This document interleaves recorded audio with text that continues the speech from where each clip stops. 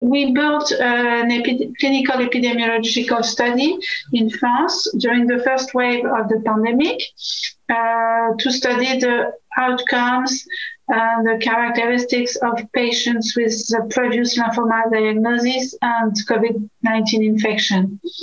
As first, we described the one month evolution of these patients and reported that patient, patients aged above 70 and those with refractory disease have a worse outcome. Then we increase our follow-up to more hospitals, more patients, and to a longer period of time, to six months. And then we showed that again, there is an impact of um, age, uh, refractory or relapse status of the lymphoma, comorbidities, but also a negative impact of recent um, B cell depleting therapy on both length of in hospital stay and also risk of mortality.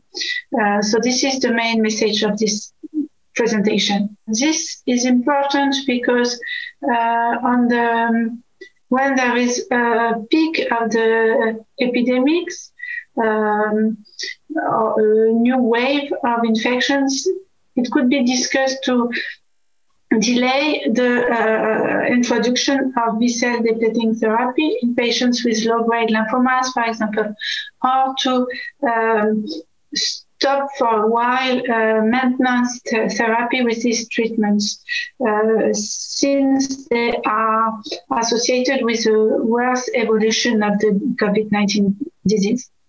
So this is important. It is also important because um, these patients may not have a good answer to vaccination. And we need to do further studies to analyze the vaccination uh, in patients receiving B-cell depleting therapy. So this opens new questions about the uh, management of B-cell depleting therapy in patients with lymphoma when there is an epidemic wave of the SARS-CoV-2. I think it is important also to mention that B-cell depleting therapy are an important treatment in patients with B-cell lymphoma.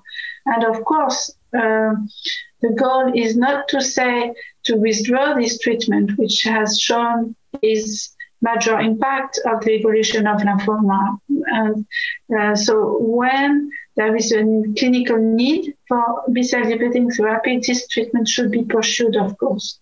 But when it is possible to delay it for a while, for example, to allow vaccination, or to uh, withdraw it during maintenance in patients with complete remission, this could be discussed. But of course, when it is um, necessary for induction of lymphoma, for example, in no case this treatment should be suspended.